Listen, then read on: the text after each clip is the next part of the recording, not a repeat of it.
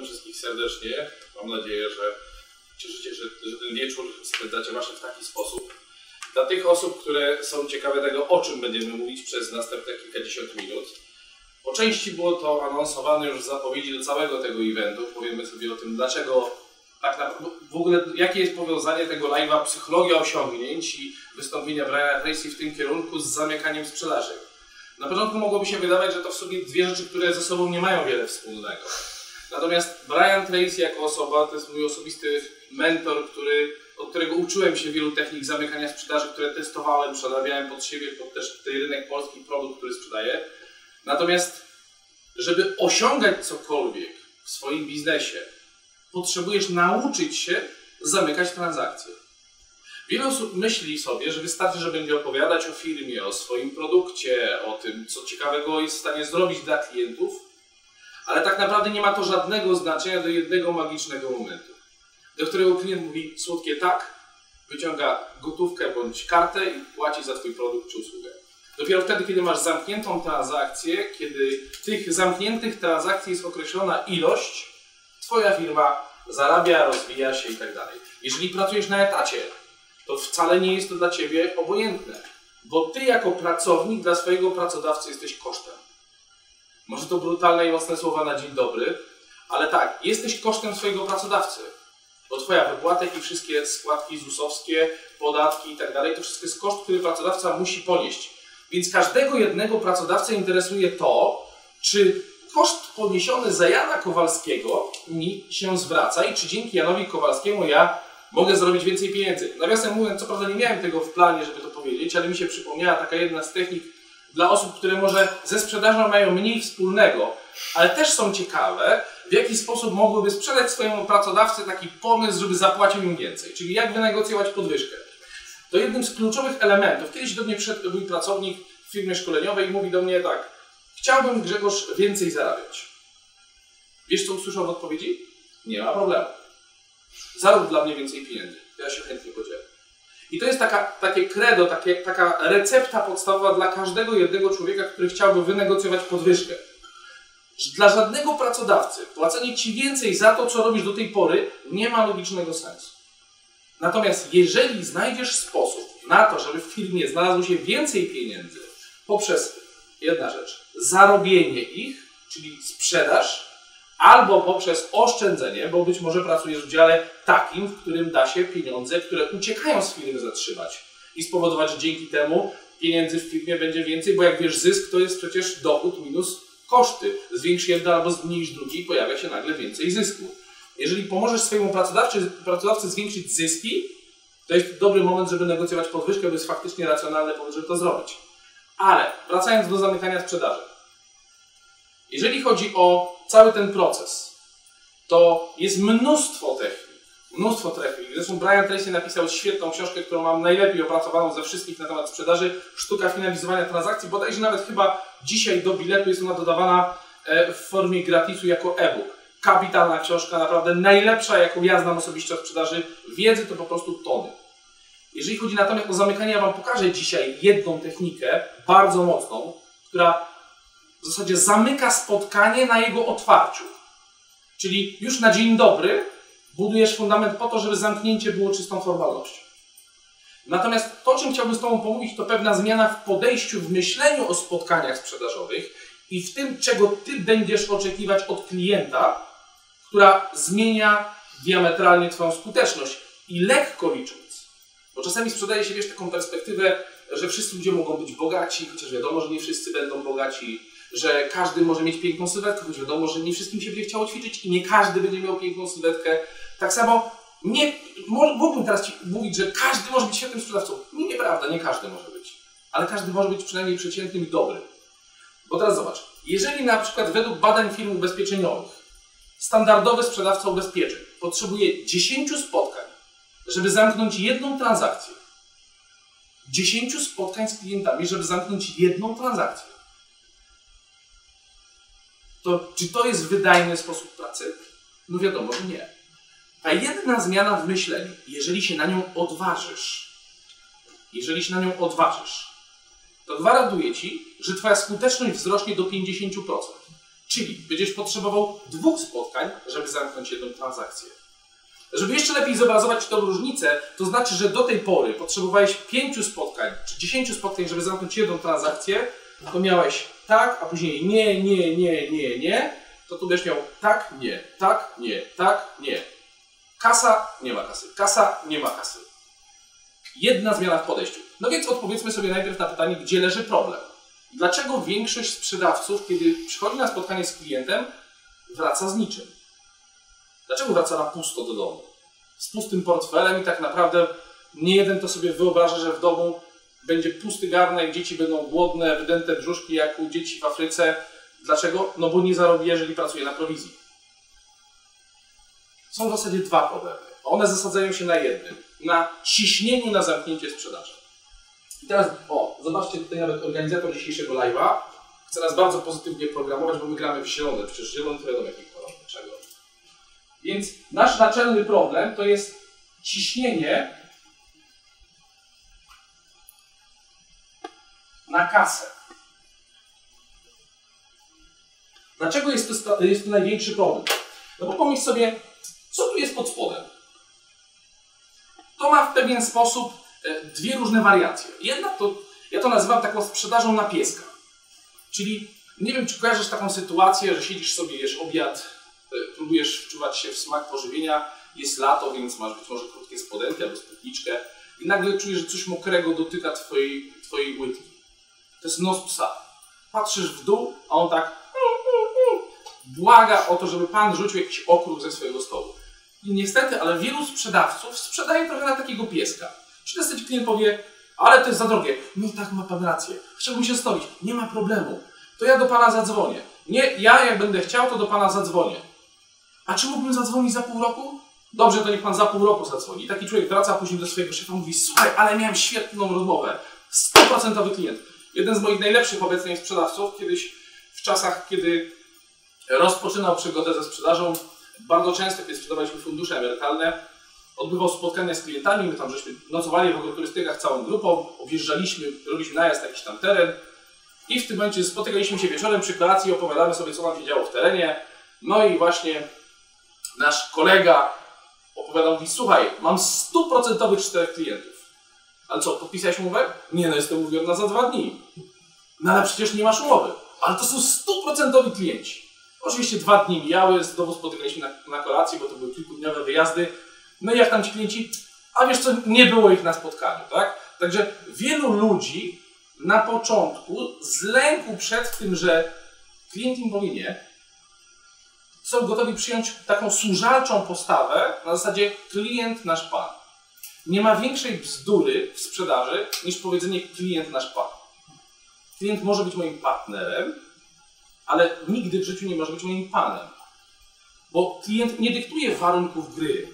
My w transakcji usługa, usługobiorca, produkt i produktobiorca musimy sobie wypracować takie warunki, gdzie jest wzajemny szacunek, gdzie ja szanuję mojego klienta i nie wciskam mu kitu.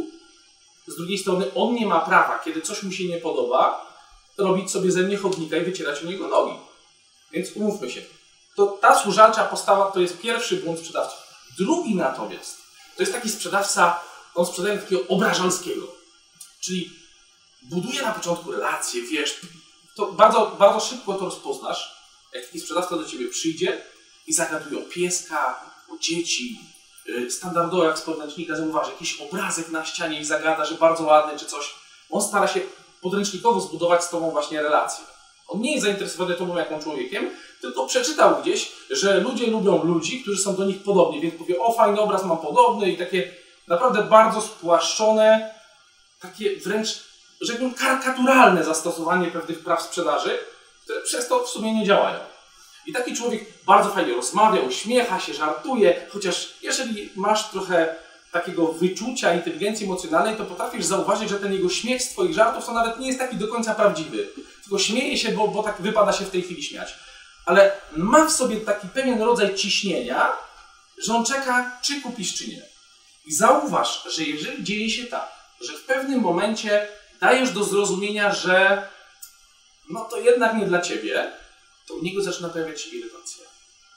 I takiego sprzedawcę na przykład poznasz po tym, że kiedy chcecie sprzedać jakieś suplementy, powiedzmy, a ty mówisz, nie no, tabletki za 1000 zł miesięcznie, to nie, no, poszukam alternatywnej metody może y, tutaj uzdrawiania organizmu, to potrafię powiedzieć, ale co, nie zależy panu na zdrowiu dzieci? To jest agresywny, obrażalski sprzedawca, który, jeżeli nie kupisz od niego, to się obraża. Ale to wszystko wynika z tego, że pod spodem jest ciśnienie na kasę, na wynik. Dlaczego? Bo pod spodem jest strach. Pod spodem jest strach. Źródłem tego ciśnienia jest lęk. Lęk przed tym, że wróci do domu i pracował za darmo. I teraz pamiętam, jak dziś, jak przyjechała kiedyś do nas do domu taka sprzedawczyni odkurzacze za 6 tysięcy. Też ta kobieta pokazuje nam, wiesz, takie obrazki z robakami na naszej kołdrze. W ogóle pierwszy raz widziałem, żeby takie robaki chodziły na kołdrze. W tej wizualizacji tak, tak e, podniesione, zresztą podstawiana pod samą twarz, to może myślała, że nie zobaczę tego robaka i, i takie coś chodził Państwa w pościeli, prawda? I, jakby, I tam starała się wywierać wpływ. Natomiast w momencie, kiedy dało się zauważyć, że my jednak tych, tego odkurzacza, który bierze rzekomo te wszystkie rzeczy, nie kupimy, no to zaczęła się tutaj, zaczął się agresywny nacisk i ta pani zaczęła czuć się obrażona. Jej mina mówiła coś takiego. Ja, ja prawie, że słyszałem jej wewnętrzny głos, który w głowie mówi, no nie, no znowu nie kupią i znowu godzina prezentacji i znowu nie wezmą. I to jest właśnie to ciśnienie. Sęk w tym, że średnio inteligentny klient, średnio inteligentny klient, nawet jeżeli nie, nie umysłem, nie, nie tak racjonalnie, na zasadzie argumentów logicznych, tylko na zasadzie emocji, czuje ten strach. Poza tym go widać, bo strach jest to stan organizmu, stan zagrożenia. Wtedy pompuje nam cały organizm e, więcej adrenaliny do krwi, to powoduje, że serce bije szybciej, mięśnie się napidają, pojawia się pot na czole, drganie głosu, drżenie głosu itd., tak itd. Tak to widać. I teraz, co ja Ci proponuję w zamian? No bo obiecałem, że będzie pewna zmiana w nastawieniu, która ma rzekomo podnieść Twoją skuteczność. Tak? Taka była obietnica, pewnie część z Was pomyślała sobie, dobra, dobra, zobaczymy, co tam, co tam wymyśliłeś. Ja proponuję Ci zamianę tego ciśnienia na, na zamknięcie, ciśnienia na oczekiwanie tych pieniędzy, które z zamknięcia sprzedaży e, wy, wywodzą się, zamianę na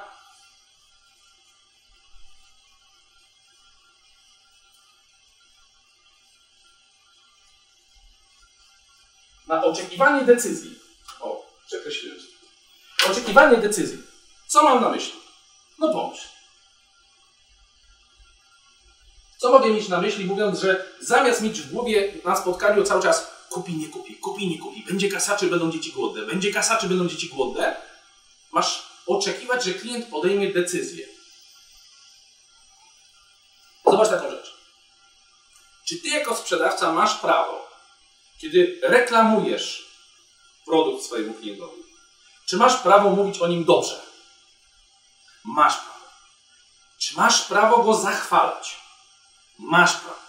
Wielu sprzedawców jest takich trochę naskromnego, czyli tak racjonalnie chcę przedstawić zalety, ale Twój klient oczekuje, że Ty go będziesz namawiał i przekonywał, że to jest świetny produkt. Co więcej, masz prawo, skoro umawiasz się z kimś na spotkanie, i ono trwa, nie wiem, 30 minut, pół godziny, 30 no, minut czy godzinę, bo 30 minut i pół godziny to jest to samo, 30 minut lub godzinę. I ty zarezerwowałeś sobie swój czas i twój klient zarezerwował czas, to nie spotkaliście się po to, żeby pogadać o pierdołach, a na koniec, żeby ci powiedział, to ja się zastanowię. Okej, okay, musicie się poznać, zbudować jakąś ale na koniec tego spotkania powinna zostać podjęta decyzja. Czy tak, czy nie.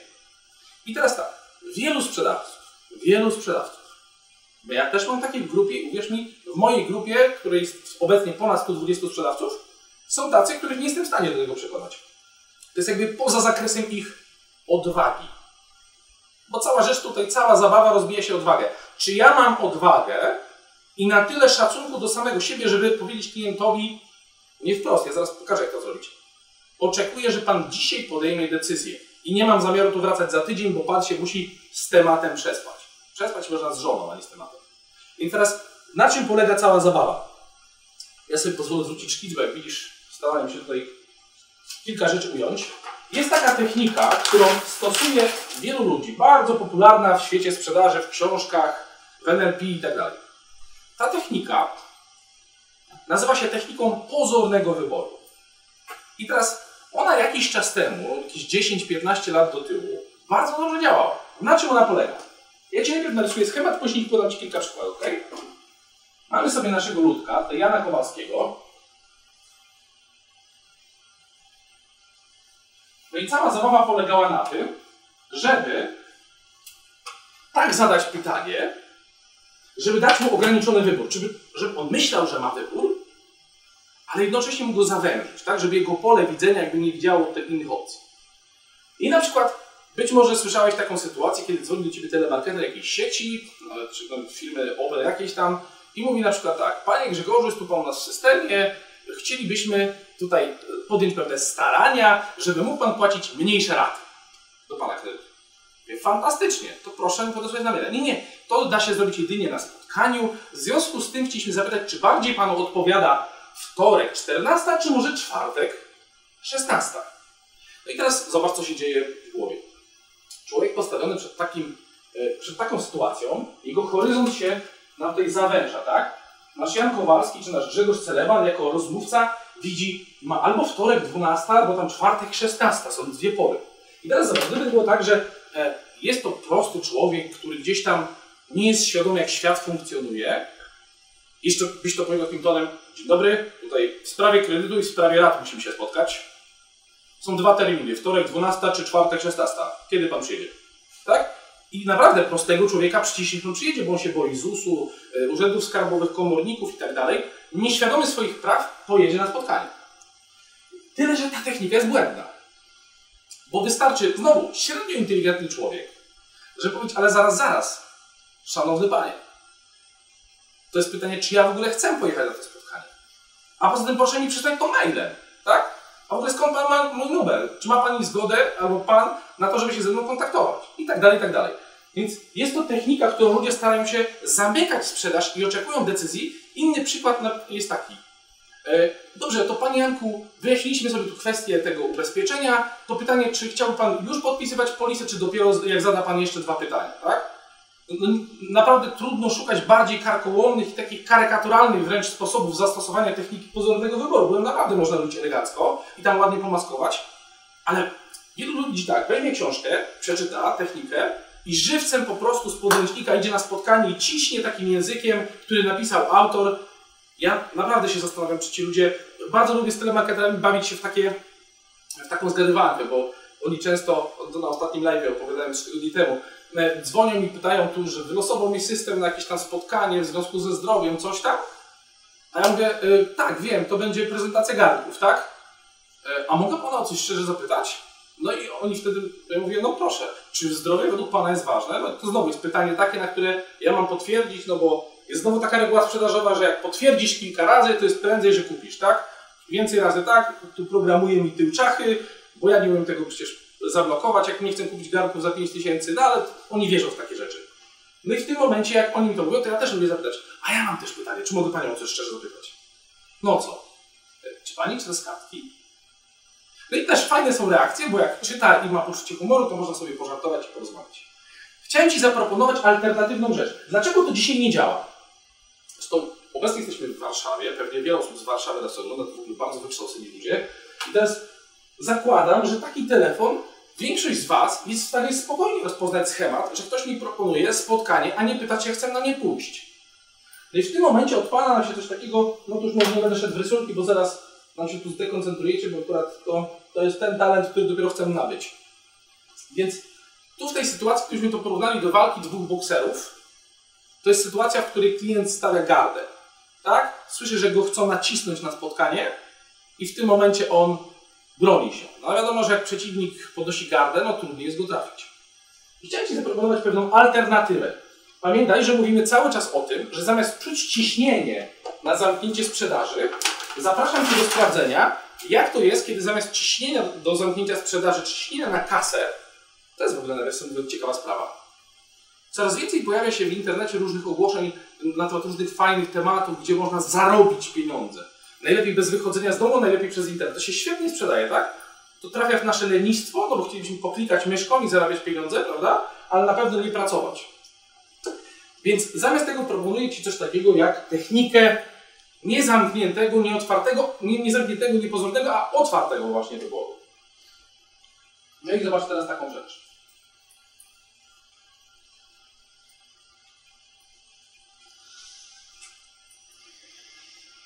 Tak ją nazwałem i ona ma pewien ukryty sens. Zobacz, zaczynasz spotkanie z klientem. Jeżeli jesteś sprzedawcą ubezpieczeń, ten klient wie, że przyszedłeś z ubezpieczeniami. No możesz mu to jakoś tam zapowiedzieć, że przyszedłeś przeanalizować dobro rodziny, no ale generalnie większość inteligentnych ludzi domyśli się, że jeżeli mówisz, że jesteś z firmy, nie wiem, e, PZU, no to nie przyszedłeś sprzedawać samochodów, tak? Tylko przyszedłeś z ubezpieczeniami, z jakąś formą propozycji ubezpieczeń. On może nawet czegoś podobnego szukać. Czy on wie, ten twój klient albo twoja klientka, czy wie i się spodziewa, że będziesz mu sprzedawać? Tak czy nie? Czy ten klient wie, że jak sprzedasz, to zarobisz pieniądze? Wie czy nie? Czy ten klient wie o tym, że jeżeli nie sprzedasz, to będziesz niezadowolony? Czy ty wiesz, że klient może nie chcieć tego, co mu chcesz zaproponować? Wiesz czy nie? Czy ty wiesz o tym, że klient będzie miał obiekcje, wątpliwości, pytania i będzie chciał się skonsultować z lekarzem i farmaceutą? Wiesz. To teraz zamiast z tym walczyć, to to wykorzystaj. Jak to możesz zrobić? Cały czas mówimy w temacie oczekuj podjęcia decyzji. I teraz pokażę Ci, jak przy pomocy techniki otwartego wyboru zamknąć w pewien sposób sprzedaż na starcie spotkania, a przynajmniej doprowadzić do sytuacji, w której masz na koniec jasną decyzję. Bo nie ma nic gorszego, nic gorszego niż tak zwani stuprocentowi klienci, którzy chętnie to jeszcze przemyślą, bo najczęściej z nich tylko kilkanaście procent później kupuje. Narysuję Ci najpierw schemat. Tak? Dalej mamy tu Janka Kowalskiego. I zamiast dwóch dołożymy jeszcze jedno wyjście. I teraz patrz. Tutaj wpiszemy sobie nie, tu wpiszemy sobie tak, a tu coś innego. Zobacz, jak zmienia się Twoja rozmowa z klientem i zakładam, że większość z Was nie lubi nic nikomu wciskać. W ogóle, kiedy ludzie myślą o sprzedaży, to myślą, kurde, będę musiał kogoś namawiać na siłę. A jak nie namówię, to będzie mi tam kierownik czy dyrektor później suszył głowę, że nie sprzedałem. Nie ma większego idiotyzmu. Nie, tak lub coś innego. Jak to mogłoby wyglądać? Zobacz. Z jakimkolwiek produktem nie przychodzisz. Oczywiście kwestia doboru słów to jest Twój indywidualny styl, ja to mówię w swoim stylu. Gdybyś na początku spotkania, bo wiadomo, jakiejś tam e, takiej kurtuazyjnej grze wstępnej, gdzie się trochę poznaliśmy, pogadaliśmy o drodze i tak dalej, to jest też kwestia szkolenia, jak to robić, powiedział do klienta tak, wie Pan co, ja to w sumie jestem człowiekiem dość nieśmiałym. E, jak Pan wie, bo nawet tutaj starałem się przebrać w garnitur, ale Pan i tak wie, że ja jestem sprzedawcą. Czyli Pan doskonale zdaje sobie sprawę, że mój szef to mi płaci wtedy, kiedy to Pan kupi. Natomiast ja nie wiem, czy po pierwsze Pan tego chce, czy Pan tego potrzebuje i czy Pan chce od nas i ode mnie. Więc ma, mam taką propozycję. Może odrzućmy na bok całe to takie sprzedażową otoczkę. To, to wie Pan, te wszystkie badanie potrzeb klienta i tak dalej, te historie. A pogadajmy po prostu jak człowiek z człowiekiem. Ja miałbym tylko jedną prośbę. Ja miałbym jedną prośbę. Żeby na koniec przyjdzie taki moment w naszej rozmowie, gdzie Pan już będzie wiedział wystarczająco dużo, żeby na przykład stwierdzić, że nie, nie, to jest kompletnie nie dla mnie. I bardzo proszę, żeby Pan mi po prostu tym powiedział. Albo Pan stwierdzi, kurczę, gość gada z sensem, przekonał mnie do siebie i produkt fajny, jak dogadamy warunki, to kupuję. Albo może się okazać jeszcze trzecie wyjście, że będzie Pan miał jakieś pytanie i wątpliwości. I wie Pan, co z reguły wtedy ludzie robią? Ludzie mówią tak, ja bym to jeszcze z żoną chciał przedyskutować, ja bym chciał się przespać z tematem, ja bym chciał się nad tym jeszcze zastanowić, a ja mam prośbę, żeby wtedy Pan mi powiedział, mam jeszcze wątpliwości. I powiedział, co to za wątpliwości. I wtedy dojdziemy do punktu, w którym albo Pan stwierdzi, nie, to nie dla mnie, albo stwierdzi Pan, tak, biorę to. Czy to jest dla Pana ok, w porządku? A ja obiecuję, że jak Pan stwierdzi, nie, to nie dla mnie, to ja nie będę absolutnie Pana naciskał. Czy taka forma naszej, naszego dzisiejszego spotkania jest ok i w porządku? Jeszcze raz. Pan wie, że jestem sprzedawcą. Przebrałem się w garnitur, ale pan i tak jest inteligentny człowiek i dobrze zdaje sobie sprawę, że ja tutaj przyszedłem po to, żeby mój szef mnie tu wysłał, żebym przyszedł i powiedział, klient kupił, tak? Wtedy, za to mi właśnie płaci. a ja nie chcę panu wciskać czegoś, czego pan nie potrzebuje, więc w pewnym momencie naszej rozmowy, jak sobie pogadamy, ja zadam panu kilka pytań e, o, o to, czego pan oczekuje, czego pan szuka, to pan będzie w stanie stwierdzić, czy to, to jest kompletnie nie to, czego pan szuka, czy być może właśnie to jest to, albo są jeszcze jakieś pytania i wątpliwości, bo przecież nie jestem w stanie przewidzieć, co dokładnie pana konkretnie w tym temacie interesuje. Czy możemy się tak umówić? I teraz zobacz, czy to daje ci prawo i ułatwia doprowadzenie sytuacji na koniec spotkania do tego, że klient powie, no dobra, ale mnie to pan skręcił. To jeszcze niech mi pan tylko powie, ile pan mi tutaj może zejść z ceny. Tak? Albo powie, no wie pan, kurczę, gdyby pan nie powiedział tego na początku, to bym właśnie panu powiedział, że ja chcę się zastanowić. To jest częsta reakcja. No właśnie, ale to jak pan chce się zastanowić, o i to jest druga technika, co ja robię, kiedy klient mówi, że chce się zastanowić. Jeśli pan mówi, że chce się zastanowić, to oznacza to jedną z dwóch rzeczy. Albo pan nie chce kupić, tylko polubiliśmy się i pan jest po prostu grzeczny i nie chce mi tego powiedzieć wprost, albo jest jakaś wątpliwość, jakieś pytanie, którego też z jakiegoś powodu pan mi nie zadaje. Niech pan powie, czy to jest to, że pan nie chce, czy pan po prostu ma jeszcze wątpliwości. Gwarantuję ci, że takie stawianie sprawy, gdzie starasz się dowiedzieć, czy ten klient naprawdę chce tego, czy potrzebuje, żeby nie wciskać mu na siłę, doprowadzi cię do sytuacji zero-jedynkowej. Zawsze na koniec spotkania będziesz mieć decyzję. Po jednym ze szkoleń jakieś 6 lat temu, dwóch moich sprzedawców z grupy 20-osobowej, naprawdę tylko 10% szkolonych wtedy ludzi, odważyło się na to, żeby ze sobą zawrzeć kontrakt, nie wyjdę od klienta więcej bez decyzji. Czyli za każdym razem, kiedy klient chciał się zastanawiać, no to oni robili tam jeszcze kilka innych technik i zawsze wychodzili z decyzją. Jeden z nich pięć razy wcześniej jeździł do klienta, nawiasem mówiąc 100 km, a to był duży klient za dużą prowizję, pięciocyfrową. I w tym momencie pojechał po szkoleniu, zastosował tam jeszcze inny trik, powiedział dyrektor, a, a, a, a faktycznie tak byłem, powiedział weź już zostaw tego klienta, przecież on nie chce pięć razy byłeś, ciągle tylko jeździsz jak taki piesek i, i, i odbijasz się po prostu, to ja się zastanowię. Pojechał, mówi, wie pan co, przyjechałem, chociaż dyrektor będzie na, na mnie zły, bo już zabronił mi do pana jeździć. O czego zabronił panu je, tobie jeździć do mnie, nie? No i tam się wiązała rozmowa i on powiedział, no dzisiaj pan jest w stanie już podjąć, podjąć decyzję. To naprawdę sporo ułatwia. W wielu kwestiach nie ma nic gorszego niż wahanie się przed podjęciem jakiejkolwiek decyzji. W tą lub w tą. Niepewność po prostu nas męczy i denerwuje. Zobacz. To jest tak jak dziewczyna chodzi z chłopakiem. No i tak, coś się nie układa i ona nie wie, czy chce z nim być, czy nie chce z nim być. Raz chce, raz nie chce. I tak się męczy. Jak podjęła decyzję w tą czy w tą, od razu by jej było łatwiej. Jakby zrezygnowała, to mogłaby sobie za jakiś czas poszukać kogoś innego. A jakby chciała w to inwestować, no to niech się stara jedno i drugie, żeby ten związek jakoś tam się kulał, prawda? Niepewność i brak podjęcia decyzji tak samo męczy Twojego klienta. To nie jest tak, że ten klient sobie, wiesz, powiedział, to ja się zastanowię, ty do niego dzwonisz i on widzi, wiesz, twój numer telefonu mówi ach, o co mówi? Co czuje? Kurde, dzwoni ten koleś. Będzie chciał, że co ja powiedzieć? Dobra, napiszę mu, że mam spotkanie, nie? I najczęściej to się robi takie zwodzenie. I teraz zobacz. Czy ta technika, ta strategia, zamiast pozornego wyboru, który robi większość telemarketerów, który jest naprawdę nieskuteczny, czy piątek 14, czy tam poniedziałek 12, daj ludziom prawo tego, że oni mogą ci odmówić. Zobacz, czy ty chcesz mieć prawo, kiedy ktoś ci coś oferuje, powiedzieć nie i żeby ktoś ci nie naciskał, nie wciskał ci i nie mówił, a może jednak pan weźmie, jak dorzucę bonus i tak dalej? Chcesz. Każdy chce. Uszanuj to prawo ludzi. Kiedyś na jednym ze szkoleń na warsztacie takim zaawansowanym ze sprzedaży odszkodowań, bo to akurat jest ta branża, w której pracuję na co dzień, ktoś mi pyta, no dobrze, a co zrobić, jak klient po wypadku mi powie, że on nie chce ze mną rozmawiać? No to uszanuj to prawo. On jako człowiek ma prawo nie chcieć z tobą rozmawiać. To nie jest tak, że każdemu musisz sprzedać. Część ludzi, zobacz, to jest taki absurd, to jest taka głupota.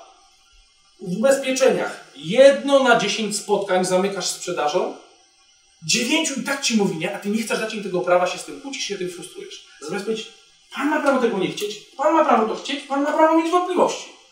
Tylko bądźmy ze sobą fair i szczerzy na koniec, żeby po prostu niech pan mnie nie robi taki w konia trochę, nie? Bo to klienci mówią, ja muszę to przedyskutować ze szwagrem, zadzwonię do wujka, bo on kiedyś znał kogoś, kto się zna na tym temacie. Oczekuj decyzji. Masz plan. Dotrzymaliście, trzeba przyznać, dosyć długo, bo jest za 10-20 trudno. Normalnie ludzie siedzą z piwem na kanapie i oglądają seriale. A wy siedzicie z nami na tym live'ie i odbieracie treści rozwojowe tutaj z zakresu zarówno zwycięzców, z zakresu komunikacji i sprzedaży od Basic, teraz kawałek takiej no, warsztatu sprzedażowego. Mam nadzieję, że będzie dla Ciebie przydatny. Oczywiście, co z tym musisz zrobić? Pokombinuj. Nie wiesz jeden do jednego, to jest mój styl. Moja najlepsza menadżerka u mnie w strukturze zawsze mówi, żeby robić te, te techniki, to trzeba być tobą. Jasne, w ten sposób tak, ale możesz wziąć z tego te części, które Ci się podobają, wybierz jak ze stołu szwedzkiego to, co jest ok dla Ciebie i zmień cokolwiek. Przestań czuć to ciśnienie i nerwy, daj ludziom prawo odpowiedzieć. Czasem nie, a zobaczysz, że więcej będzie tych, którzy będą mówić tak. Jeżeli ten styl przekazywania Ci się podoba, to mam dla Ciebie trzy bardzo dobre wiadomości. Pierwsza to za wytrwałość na tym live. Wszyscy uczestnicy, kompletnie wszystkie osoby, które są na tym live, w uzgodnieniu z organizatorami przebiliśmy dla Was prezent. Ten prezent to jest miesiąc czasu takiego szkolenia z 16, a w zasadzie obiecałem tam 16, jest tam ponad 20 technik sprzedaży różnych, na to, jak błyskawicznie budować zaufanie. Ten kurs nazywa się po angielsku Trusted Sale, bo kiedyś jak byłem początkującym traderem, pomyślałem, że na pewno zaraz nie wyjdę na zagranicę. Więc znajdziesz go pod tym adresem Trust and Sale i tam wystarczy, że obejrzysz sobie filmik, a nawet nie musisz tego filmiku oglądać. Jest to bezpłatny kurs, który trwa miesiąc czasu, polega na tym, że co dwa dni przychodzi do Ciebie mail z wideo 5-minutowym z jedną techniką sprzedaży. Jak będziesz sobie to oglądał, tą rzecz później stosował przez dwa dni, to po dwóch dniach dostajesz nową inspirację. Na tej stronie to znajdziesz, musisz zjechać tam niżej, poniżej wideo, podać imię, adres e-mail i kliknąć uzyskać dostęp. Natomiast, zostawię to na razie. Mam ogromną przyjemność powiedzieć Ci o tym. To jest też w sumie jedno z moich marzeń, które się spełni. Że 9 marca we Wrocławiu jeżeli zastanawiasz się nad tym, czy być we Wrocławiu, będę miał też przyjemność tam dla Ciebie wystąpić. O czym ja powiem we Wrocławiu, bo będę miał około 40-minutowe wystąpienie. Zrobiłem sobie tu ściągę i pozwolę sobie zerknąć. Więc wystąpienie, które będę tam miał, będzie się nazywało Zamknij się i zamknij sprzedaż. Zamknij się i zamknij sprzedaż. I powiem tam o tym, dlaczego masz się zamknąć podczas sprzedawania, o czym masz milczeć i pokażę Ci technikę na dwie rzeczy dwie rzeczy. Pierwsza to jedna z technik na to, co zrobić, kiedy klient mówi, to ja się zastanowię. A druga to jest, no, nie przeczytasz o tej technice w żadnej książce. W żadnej. Dlatego, że to ja ją sobie wymyśliłem gdzieś tam w terenie. Znaczy nie tyle nawet wymyśliłem, bo to by wskazywało, że siedziałem i się zastanawiałem. Kiedyś na spotkaniu to powiedziałem do klienta tak spontanicznie, a później stwierdziłem, że to jest dobry sposób. Sprawdziłem wiele razy i działa w 80% przypadków. Jest to niesamowita technika na wyciąganie od klienta jego oczekiwań co do współpracy. I ta technika się nazywa na jasnowidze.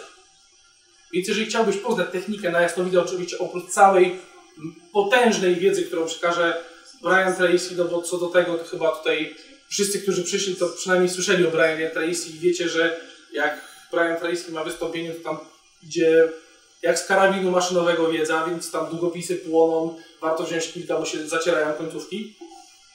Więc to, to takie rzeczy, tak? Dlaczego powinieneś się zamknąć? Jeśli chcesz zamknąć sprzedaż, o czym milczeć? Technika na jasno widzę, jak wyciągać od klienta to, co tam jest jego tak zwanym czerwonym przyciskiem, który jak naciśniesz, to kupi. I co zrobić, kiedy próbuje się wymigać i mówi, że to on się zastanowi. To między innymi, bo jeszcze trochę pewnie tam dorzucę tego czasu. A dla każdego, kto dzisiaj zdecyduje się po tym live, żeby dołączyć do nas we Wrocławiu lub też w Warszawie 8, jest przewidziany jeszcze jeden prezent. To jest moje szkolenie VOD lub MP3 to nie ma znaczenia. Keys of Sales, czyli kluczowe elementy sprzedaży. Tam znowu w środku co możesz znaleźć. To jest bonus. To dostajesz w prezencie, jeżeli będziesz z nami na Brian Tracy. Cyfrowo kupujesz bilet i tu ekipa, która organizuje całe to wydarzenie, wysyła mailem link do pobrania sobie na dysk. W środku znajdziesz niesamowicie mocne ćwiczenie, które wyciągnie z Twojej głowy, z Twojej głowy, Twoje blokady przed sprzedawaniem Banalne ćwiczenie. Nie wymyśliłem, przerobiłem inne ćwiczenie, które ktoś wymyślił. Banalne ćwiczenie, które wyciągnie Twoje blokady z głowy przed sprzedawaniem, pokaże Ci, czego się boisz, dlaczego masz problem z tym, żeby w ogóle zacząć sprzedawać i dać Ci rozwiązanie, które jest oparte na różnych badaniach, które też nie ja prowadziłem, ściągnąłem czyjeś, ale jest to ćwiczenie, które przeprogramowuje podświadomość, teraz zabrzmiało całkiem groźnie, przeprogramowuje Twoją podświadomość i Twoje przekonania na temat sprzedaży, co samo w sobie ma jeden pozytywny rezultat przynajmniej. Zdejmuje stres. Pozbawia stresu przed sprzedawaniem. To takie gadżety przewidzieliśmy tutaj dzisiaj wspólnie dla tych, którzy dotrwali, bo część pewnie już poszła oglądać seriale. Ty jesteś z nami, świetnie. Mam przyjemność dzisiaj zakończyć to nasze wspólne wydarzenie. Mam nadzieję, że bawiliście się świetnie.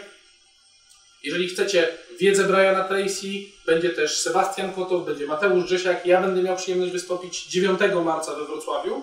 Poniżej tego, tej transmisji jest dzisiaj specjalna promocja. Jaka tam, nie będę teraz rzucał cyframi, macie to pod spodem. Bonusowo ode mnie otrzymujesz produkt Kiss of Sales, czyli kluczowe elementy sprzedaży, jeżeli kupisz bilet po tym live. A dla wszystkich, bo nie każdego na to stać, nie każdy ma chęć przyjechać na event, to dla wszystkich za to, że z nami wytrzymaliście i zapraszamy na następne live organizowane przez 360 SBC i Brian Tracy teraz po ulokowaniu produktu. Ten kurs, mój miesięczny darmowy, darmowy kurs na temat nie darmowej sprzedaży, tylko zaawansowanej sprzedaży, czyli jak błyskawicznie budować zaufanie. Ja bawiłem się świetnie, moi współprelegenci również, mam nadzieję, że Wy także. Bawcie się dobrze, spokojnej nocy.